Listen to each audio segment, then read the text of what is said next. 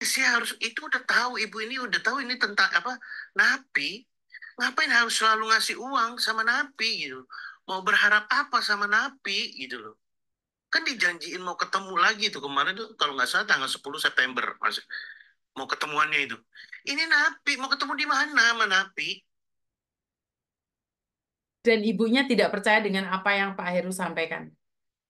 iya Jadinya Saya kesel. kan napi dia napi dia bilang si napinya ini mau menjanjikan dia ketemu tanggal 10 September saya bilang ibu mau ketemu di mana sedangkan dia aja ada di dalam penjara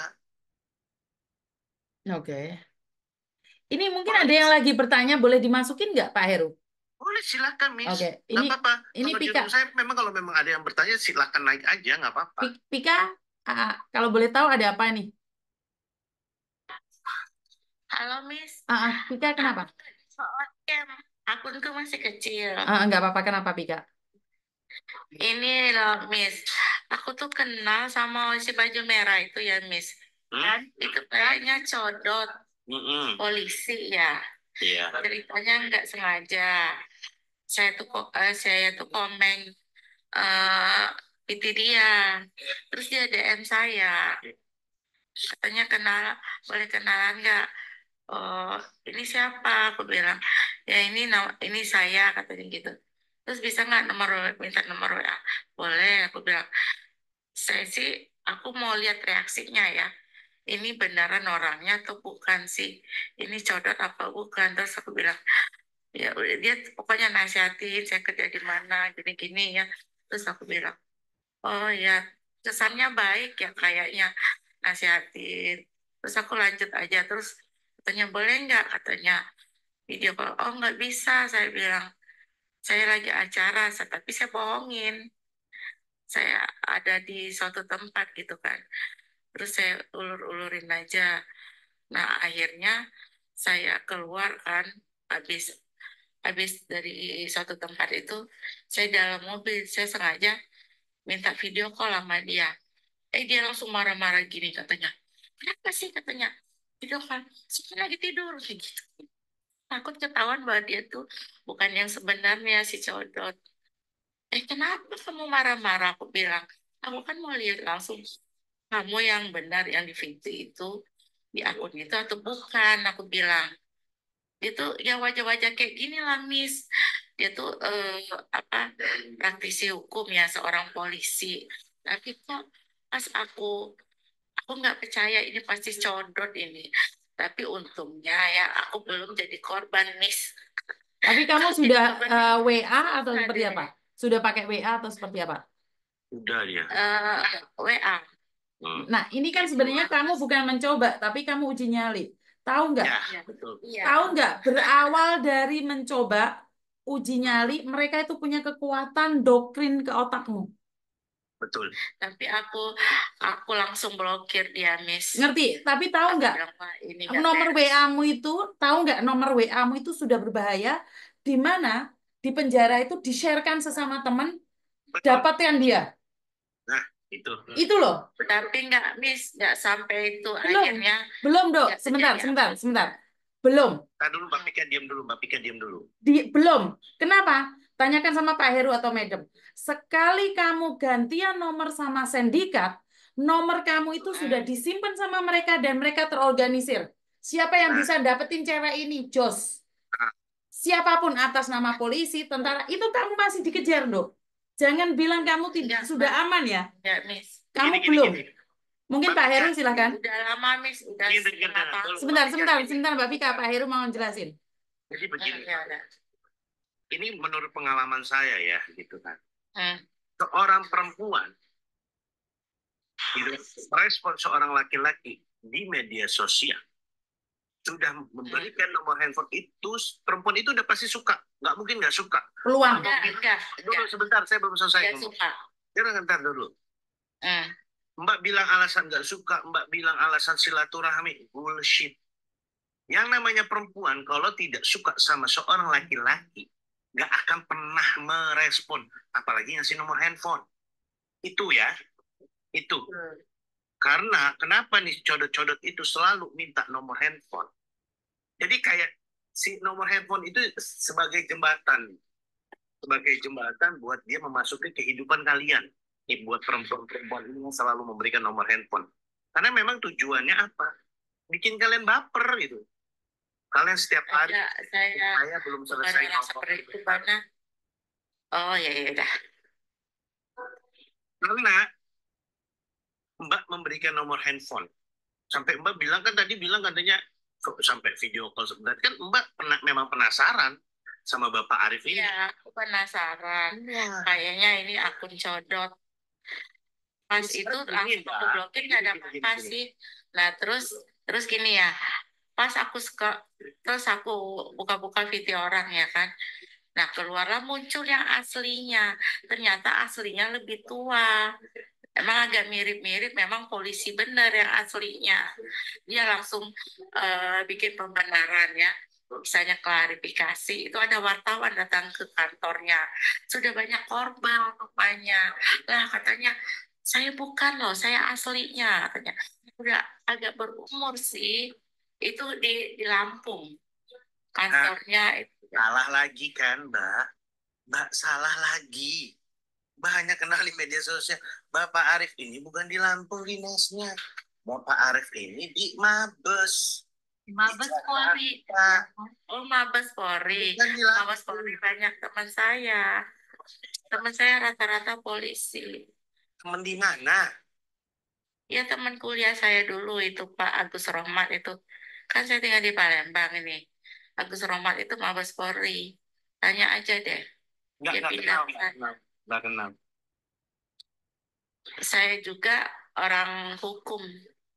Sekarang Saya saya dosen. Ibu, Ibu Pika, Ibu Pika, sorry. Aku kasih ini satu, apa satu dari aku. Kenapa selalu kita melarang jangan komen di akun palsu pakai Iya. foto-foto polisi. Kan awalnya Eh, Ibu enggak, kan komen enggak, kan? enggak. Maaf ya. Kalau Tadi bilang, ada salah kok- pengertian ya. Aku kan ngetes dia, ini codot. Ini codot apa aslinya? Ternyata benar Iya. codot. Iya, Teman itu. aku aja. Kan Ibu Temen komen aku kan awalnya di- kemudian di DM kan sama dia. Tadi Iya, ceritanya iya, seperti aku- itu. Komen kan? Iya, itu nggak sampai. Cuma aku, saya kan juga orang hukum jadi ngerti kan. Tanya saya, saya tanyain, Bukan masalah tanya, orang "Oh, hukum. orang ini gimana? Ibu Bukan masalah orang Ibu hukum. orang hukum gitu. Masalah orang Harusnya kalau hukum. misal ibu orang hukum harusnya ibu ngerti dan paham. Ya saya paham karena ya teman saya di TikTok kan polisi juga orang Padang itu cakepnya minta ampun. Terus banyak juga korban-korban codotnya ternyata.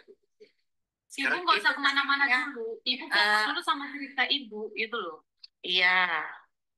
Itu sampai sekarang banyak korbannya itu yang janda-janda, yang yang ya yang namanya yang kaya-kaya itu dia porotin. Hah? Siapa namanya? Eh polisinya Aan Caniago itu akunnya dicodotin Ibu, semua. ibu, ibu, ibu, Ini, ibu, ibu ini terlalu ini. Ibu ini nggak ngerti. Ibu Bang nggak Aan itu punya banyak akun palsunya juga. Banyak.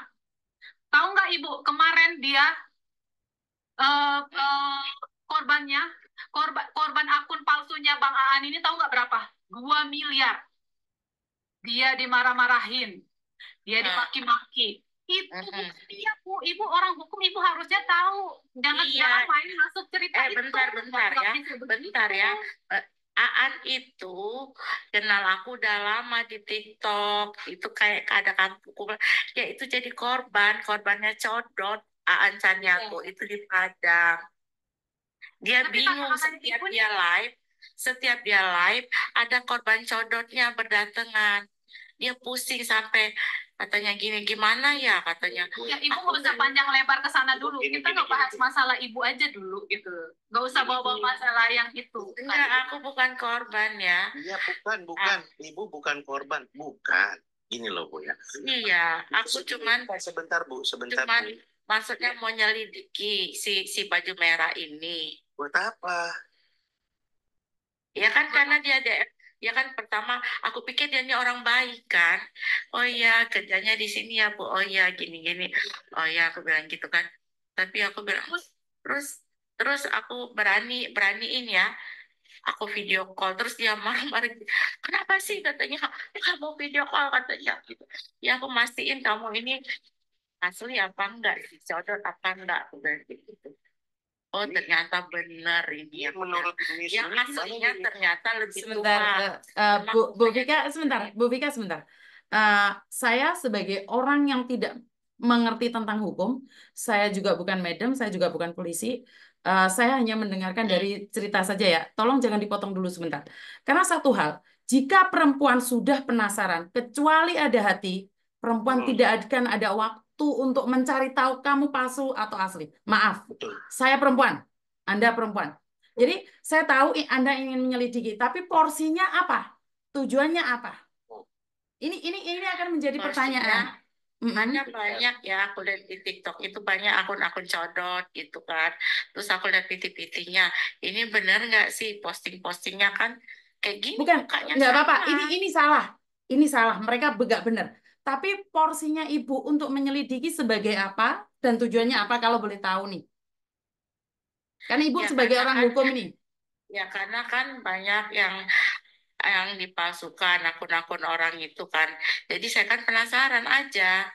Kok pertama dia baiklah, terus aku suruh video call, aku mau lihat wajah aslimu.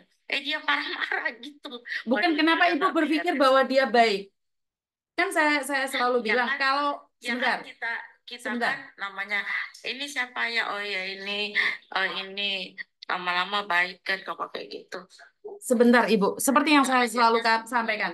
Sebentar, Ibu. Satu hal, Ya. orang baik di awal karena dia ada mimpi, misi. Misi dia apa? Ya.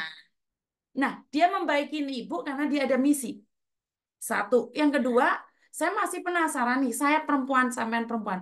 Karena wanita itu selain jatuh cinta, tidak akan pernah pe- penasaran sama laki-laki. Wanita itu kalau terpesona baru dia mengejar. Wanita itu nggak gampang loh, Bu. DM, komen, maaf. Muka saya pas-pasan nih. Saya nggak ada pekerjaan. Saya nggak akan nge-DM polisi kok. Karena saya lihat cermin, sadar diri, sadar raih, sadar posisi. Tapi kalau ibu bilang ingin menyelidiki, oke. Saya saya sangat appreciate sekali ya. Eh, mungkin ibu ingin berbagi informasi dengan kita. Seperti itu, ibu? Saya juga kan mau buat penelitian nih. Nih, Oh, oke, siap. penelitian tentang Sorry. codot mencodot. Karena Ibu kan saya mengajar ya dosen juga. Jadi Ibu kan mungkin sorry. untuk bahan penelitian. Ya, Ibu Vika, maaf ya. Ibu ini Hmm. kayak bermain undian. Jadi kayak Hmm. undian dicabut. Kalau dia asli, ya syukur dia baik. Tapi kalau dia palsu, ya itu. Jadi ibu tuh kayak main undian, tahu nggak? Jadi ibu harapannya tuh itu.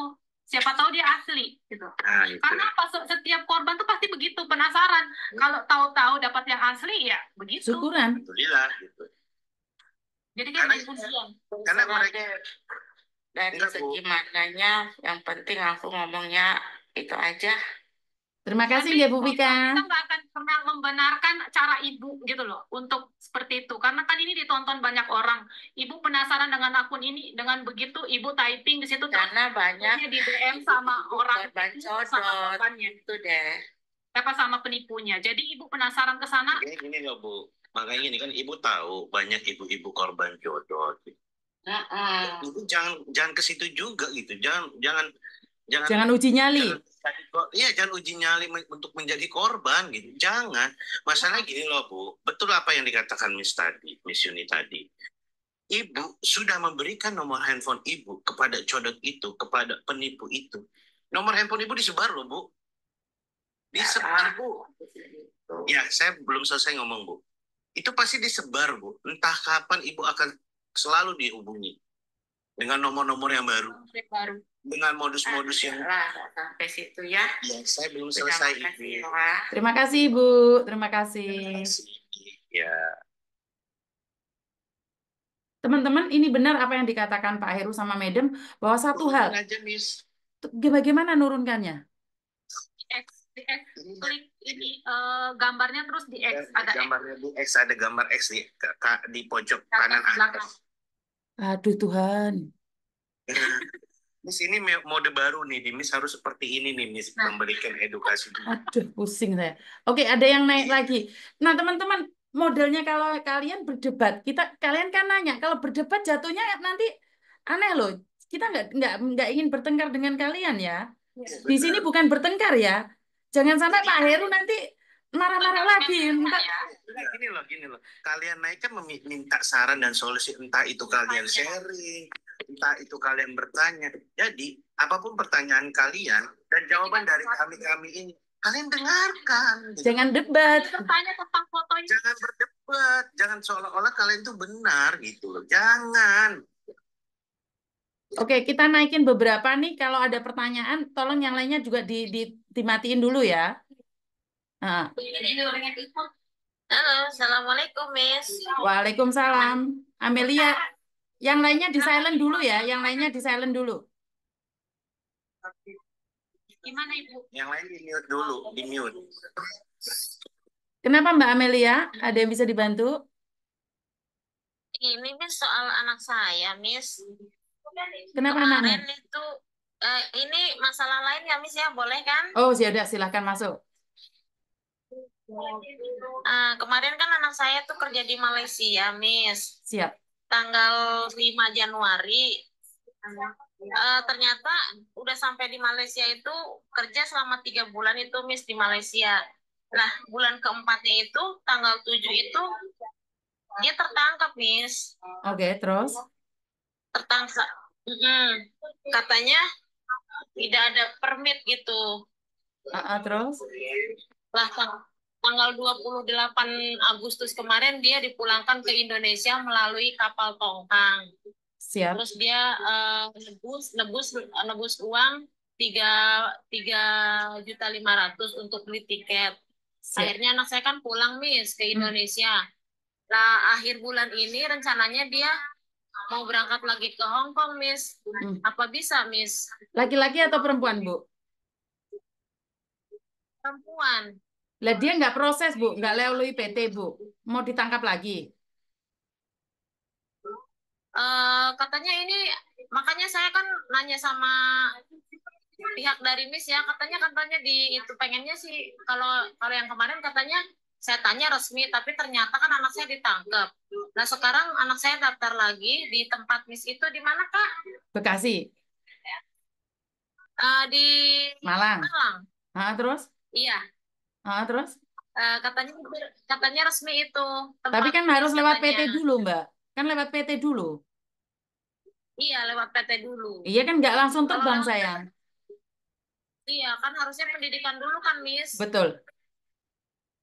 Eh, PT PT apa? Putra Bagas Mandiri, Miss. Hah? Apa benar itu PT-nya, Miss? Itu bukan ya? Apa itu? Sebentar.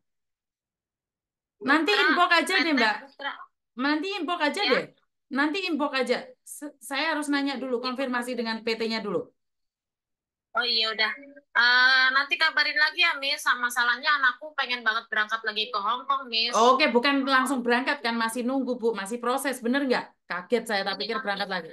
Ya udah nanti inbox aja Bu, inbox aja Ibu. Oke, tolong dibantu, tolong dibantu ya, Miss. Siap, siap, siap, siap. Oke, kaget aku tak pikir langsung terbang. Oke Mbak Zainlan, gimana Mbak? Halo, Assalamualaikum. Waalaikumsalam. Ya, gimana Mbak? Ya. Begini, saya, saya tertarik karena topiknya itu sangat sangat eh, bagus sih, karena eh, sudah cukup banyak jadi korban. Saya hanya ingin kasih kesaksian sih, sebagai kita pengguna media sosial.